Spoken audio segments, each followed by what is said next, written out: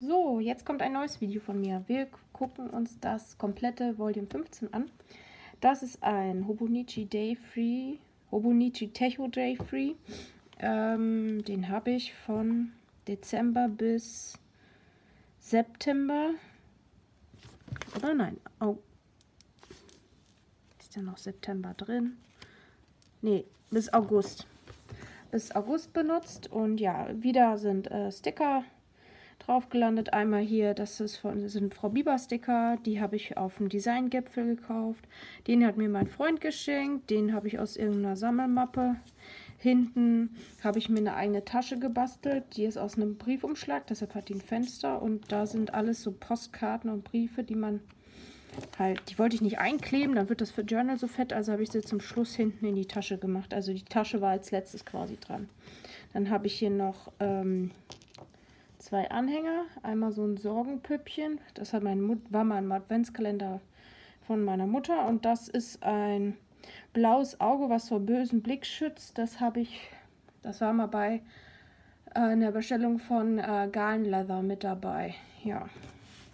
Dann gehen wir mal rein. Also es ist wieder der Baumstempel drin, den ich jedes Mal reinmache, wenn mein Journal voll ist. Hier sieht man von wann bis wann ich es genutzt habe.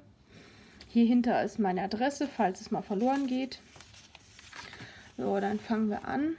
Auf den zwei Seiten habe ich gar nichts eingetragen und dann gibt es hier so eine Art, ja, man kann es als Habit Tracker oder Future Log oder so benutzen. Ich habe es als äh, Inhaltsverzeichnis genutzt. Ich habe immer die drei wichtigsten Sachen, die im Monat passieren, oben drüber geschrieben und dann mit der Seitenanzahl dann halt ähm, geschrieben, was äh, passiert ist. Ungefähr ein Stichwort, was passiert ist. Und dann unten immer passend für den Monat dann dekoriert. Also an Ostern ein Hasen, im Februar eine, äh, im Januar eine Regenwolke, genau.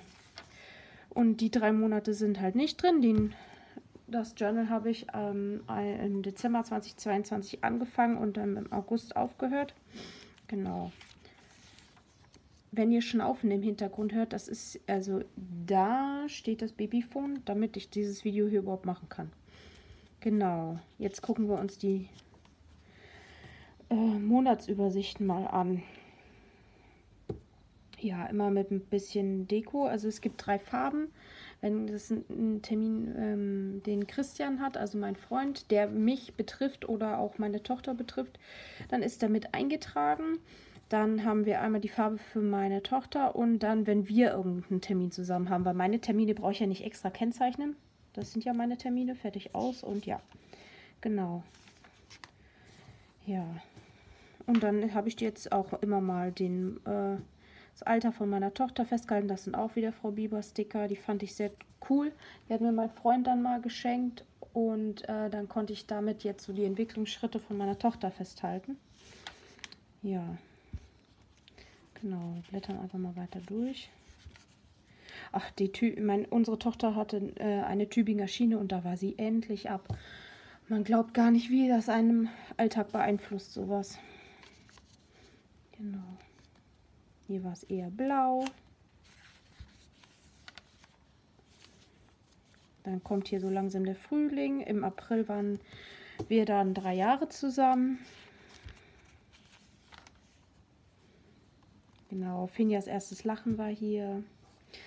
Finja hat ihre ersten Zähne bekommen. Oh, inzwischen sind wir bei Zahn 9 und 10, der jetzt kommt. Also sie ist da echt fix und es gefühlt ist immer ein Entwicklungsschritt oder sie zahnt.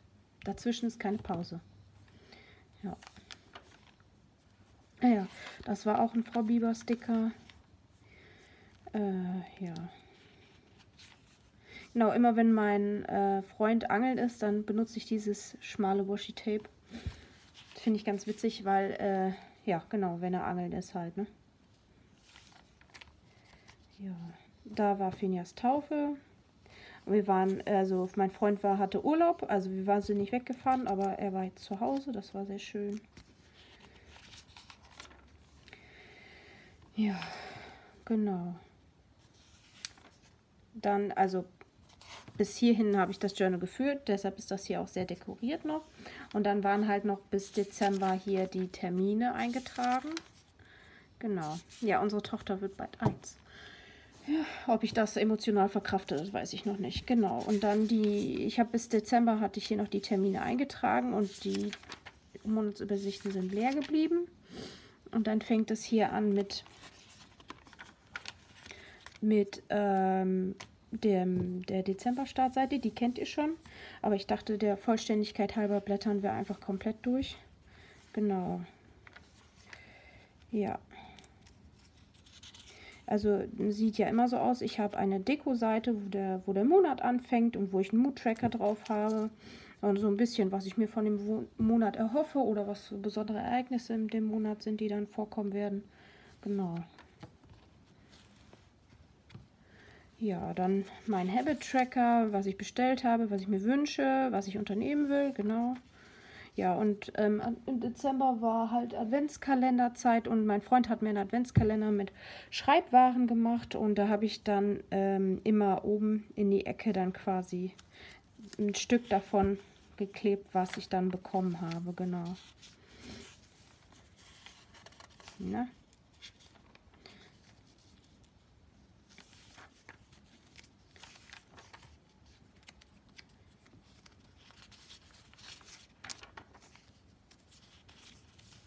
Genau, Weihnachten. Da habe ich nochmal ganz tolle Stempel im Adventskalender bekommen. Hier die ähm, Sachen von Lush. Äh, tatsächlich, diese, das benutze ich seitdem und das ist immer noch nicht alle. Also das ist echt langlebig. Keine Werbung oder so. Äh, das war der Januar. Da waren den Mood Tracker haben wir auch noch zusammengezeichnet damals. Genau. Da waren es eher schlecht Wetter im Januar, ne? Hm? Genau. Äh, ja, genau. Hm.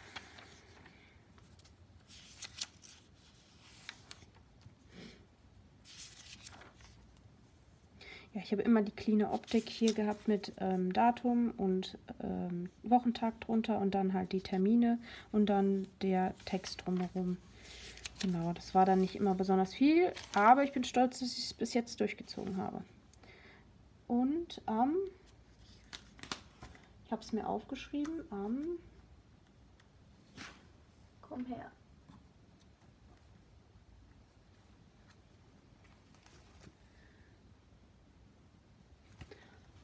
17. war mein Jubiläum quasi. Seitdem journal ich sieben Jahre lang am Stück. Genau, das hier ist der Februar. Ja, man sieht, dass die Mood-Tracker doch sehr einfach gehalten waren, weil ich nicht viel Zeit hatte. Aber es, es gibt welche, immerhin. Ja. ja.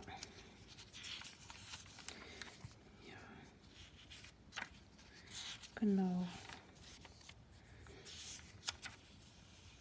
Da war ich die erste Woche allein. Da war die Elternzeit von meinem Freund vorbei. Oh Gott, hatte ich Schiss davor. Aber wir haben es überlebt. Wir haben uns nicht viel vorgenommen und einfach nur, ja, äh, überlebt. Anders kann man es nicht sagen. Ja, da war ich so froh, dass der Februar endlich vorbei ist. So ein kalter, dunkler Monat, ey. Ja, dann kommen wir hier in den März. Da hatten wir Bauchklötze als Mood Tracker. Das war dann wieder etwas aufwendiger. Da konnte man dann auch mal ein bisschen mehr machen, genau. Jo.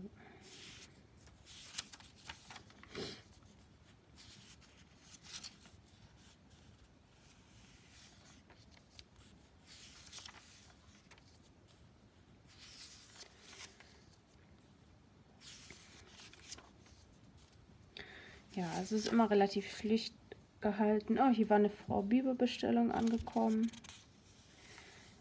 Und hier sind wir im April.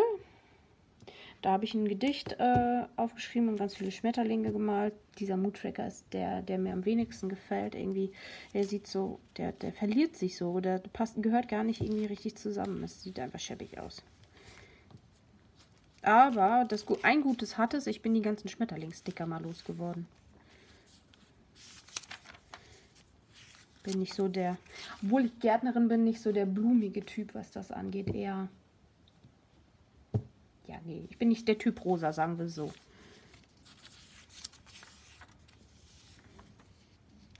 Ja, da waren Christian und ich dann drei Jahre zusammen. Deshalb ist hier auch ein, eins der Lesezeichen drin, genau. Da waren wir das erste Mal schwimmen mit Finja. Fand sie total kacke. Äh, ja.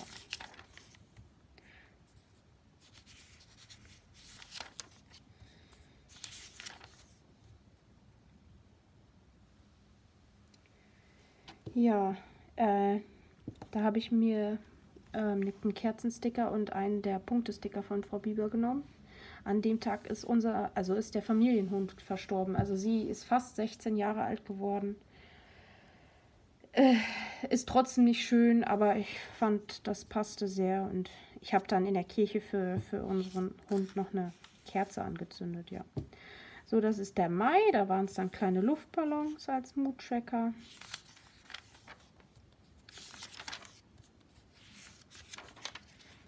War da? Finja, ah, da war sie ein halbes Jahr alt. Die Zeit vergeht. Ja, hier für den Sticker finde ich auch super. Finja liebt es äh, zu baden. Und inzwischen setzt du dabei das halbe Badezimmer unter Wasser. Genau. Da war mein erster Muttertag. Da hat sich mein Freund solche Mühe gegeben. Ich habe äh, richtig krass viele Geschenke bekommen und ich hatte richtig schlechtes Gewissen, weil ich ihm zum Vatertag nicht so viel geschenkt habe. Aber er meinte ja, es wäre ja auch viel einfacher, Vater zu werden als Mutter. Oh, da hatten wir das erste Playdate quasi mit ähm, einem Mädchen, was einen Tag nach Finja geboren wurde, aber eigentlich, äh, also sie haben uns überholt. Ich war, Finja war acht Tage drüber und die, das Mädchen war ein paar Tage zu früh und somit hat, haben sich die Geburtstage quasi verschoben. Ja, und dann waren wir hier, äh, genau, bei Gartenträume, so einer Messe in, auf Burg Hülshoff. Das war richtig schön, auch wenn Finja nicht wirklich begeistert war und wir auch sehr schnell wieder gegangen sind, aber immerhin, ja. So, hier waren dann die, jetzt sind wir im Juni, das sind dann Eisbecher gewesen als Mood-Tracker. Den finde ich schon, schon viel besser wieder. Genau sehr floraler, sehr florale Startseite. Genau. Da ist die Finja schon sieben Monate alt. Da haben wir so ein so ein Hopser gekauft. Also da setzt, äh, das ist wie so, ein, wie so ein Klettergut, da setzt das Kind rein und dann fängt das an zu hopsen. Das ist so unfassbar niedlich.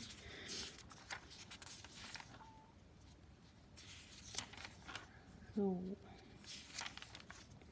Hier ist ganz wenig Deko. Ich weiß auch nicht, was da los war. Wow, eine Sonne haben wir eingeklebt. Ach, da waren schon wieder Zähne und Finja dreht sich wie ein Pillewurm. Und da sind wir im Juli. Da hatte ich hier dieses Strandmotiv in, in Grüntönen als Moodtracker. Genau, auch grün gehalten die Seite. Da war Finjas Taufe. Hat schon wieder Zähne. Nur Zähne. Ja, und dann habe ich hier immer mal mit markiert, dass äh, mein Freund Urlaub hat. Habe ich auch stumpf so durchgezogen. Das ist auch aus einem Frau Bieber Sticker. Ich brauchte aber nur den Hirsch. Und ja. Da kam eine Bestellung von Kiroku. Genau. Ja, und äh, meine, meine Smartwatch ist angekommen von Fossil, genau. Genau. Da waren wir das erstmal, ähm, da haben wir so, da ist so, ach, wie soll man sagen, in, ich glaube, Lüdinghausen. Nee, Nordkirchen, Nordkirchen ist es. Äh, da gibt es so ein, so ein kleines Gehege mit, mit Ziegen und Hühnern und zwei Eseln und ein paar Vögeln und da hat sich Finja dann ganz fasziniert ähm, die Ziegen angeguckt. Genau. Und ich, ich finde es sehr krass, dass äh, man mit dem Kind in dem Alter ja nicht wirklich, man kann nicht auf dem Spielplatz oder so, ne, noch nicht wirklich, also wenn die noch nicht sitzen können. Also haben wir gefühlt den ganzen Urlaub nur Eis gegessen oder sind Kaffee trinken gegangen. War auch nicht schlecht. Genau, da war der letzte Urlaubstag. Genau, da haben wir erfahren, dass eine äh, äh, Bekannte von uns aus dem ähm, Geburtsvorbereitungskurs wieder schwanger ist und es diesmal ein Junge wird. Ja, genau. Da hat mein Freund äh, seine Gehaltserhöhung bekommen und somit äh, gibt es noch ein zweites Baby, auch wenn das erste Baby so anstrengend war, aber jetzt muss es noch ein zweites geben, genau. Ähm, das ist der August, da habe ich ähm, Schreibwaren gemalt und die dann ausgemalt, genau. Sehr orange die Seite, orange-gelb. Genau. Äh, da konnte Finja dann auf einmal sitzen. Und eine Woche später konnte sie krabbeln. Erstaunlich. Ja, genau. Ja, da steht Svenja kann krabbeln. Hm, da noch ein Zahn. Ach ja, war, da waren wir bei der italienischen Nacht, deshalb ist da diese italienische Flagge. Ich hoffe, es ist überhaupt richtig rumgemalt, keine Ahnung. Ich habe mich nur an die Farben erinnert. Äh, ja. Genau. Da kam eine Be Bestellung von Cool de. Äh, Finja hat schon wieder einen Zahn. Da waren wir Eis essen. Die Sticker finde ich ja süß. Ne? Also der, der ist immer als erstes weg. Wir waren, äh, also es gibt nicht viel, was man hier im Ort, wo ich wohne, äh, machen kann. Und äh, Eis essen geht auch. Und deshalb ist dieser Sticker immer als erstes weg vom Stickerbogen. So, und das war's. Hier sehen wir noch, äh, habe ich mir mal aufgezeichnet, die Zahnübersicht. Äh, genau. Ja, und das war's. Dann auf den Seiten habe ich so gut wie nichts gemacht. Also ich habe hier noch einmal meine Hier war ich schon Liste. Die will ich aber jetzt in ein eigenes Buch machen. Dafür habe ich mir auch schon was bestellt. Und zwar diese Hobonichi Notizbücher. Auch in A5. Und das eine Buch will ich ähm, für, für, die, für die Hier war ich schon Liste machen. Die wollte ich dann nach Bundesländern aufteilen und nach Ländern. Auch wenn ich nicht so wahnsinnig viele Länder in meinem Leben bereisen werde. Und da, weil da zwei Bücher drin sind, also da ist nochmal so ein, so ein blaues drin. Wir können es ja einfach mal zusammen aufmachen. Entschuldige fürs Geknister. All für alle, die Kopfhörer aufhaben. Genau, das sind die zwei Notizbücher. Die sind kariert. Und ich glaube, haben irgendwie ein bisschen mehr als 40 Seiten. Und das wird fürs Reisen sein. Und das wird für meinen Shop sein. Jetzt kommt Werbung in eigener Sache. Ich habe jetzt einen Etsy-Shop. Der heißt Planner Calendula auf Etsy. Und bis jetzt sind zwar nur zwei Produkte da, aber auf die bin ich doch sehr stolz. Und zwar einmal der erste, den ich designt habe, ist einfach ein Journal, was wahnsinnig voll ist mit Büroklammern und Klammern und Lesezeichen und Post-its und so weiter. Genau. Und dann als zweites habe ich einen Charakter gezeichnet, und zwar dieses Rotkirchen, das ist Opa Gerhard. Mein Opa, der ist mit fast 95 verstorben. Und ab dem Punkt haben wir überall Rotkirchen gesehen. Und ja, das wurde so zu, zu so einem Symbol unserer Familie, dieses Rotkehlchen. Und dann dachte ich mir, du wolltest immer einen Charakter haben, der dann halt verschiedene Sachen macht. Also hier trägt er ein Buch und demnächst wird er, weiß das ich nicht, einkaufen gehen, angeln gehen, Pflanzen shoppen, weiß das ich nicht was alles. Und ähm, den kann ich dann immer einkleben und äh, ich wollte ihn aber auch teilen und somit ist er jetzt auf Etsy und ähm, ja, Demnächst wollte ich dann noch einen Stickerbogen machen, der kommt dann in, weiß ich nicht, zwei Wochen. Erstmal muss ich ihn zeichnen und dann muss ich ihn drucken lassen. Ja, auf jeden Fall, äh, ja, wenn ihr wollt, könnt ihr mich gerne auf Etsy ähm, unterstützen, wenn ihr das wollt. Genau, die sind wetterfest, kratzfest, haften auf so gut wie allen ähm, Oberflächen. Also könnt ihr selbst auf euer Auto kleben. Genau. Dann ist hier noch äh, meine Stifteteste-Seite, genau. Dann, keine Ahnung, die Seiten habe ich nicht benutzt. Hätte ich noch überkleben können oder so. Hier sind noch meine Adresse, die wichtigen Adressen. Genau, und das war's. Und dann ist hier halt so eine, so eine selbst gebastelte Falttasche, wo äh, die ganzen Postkarten und so drin sind. Genau, und auf dem Buchrücken habe ich von Leuchtturm hier so, so ein, so Buchrückenaufkleber halt Und da steht dann auch nochmal drauf, welches, welche Nummer und von wann bis wann. Und somit steht das dann im Bücherregal und dann kann ich das auch sehen, weil es ist ja nun mal das Buch 15. Ich bin jetzt im 16. Und äh, dafür kann man auch schon mal den Überblick verlieren, wenn man die nicht beschriftet. Genau.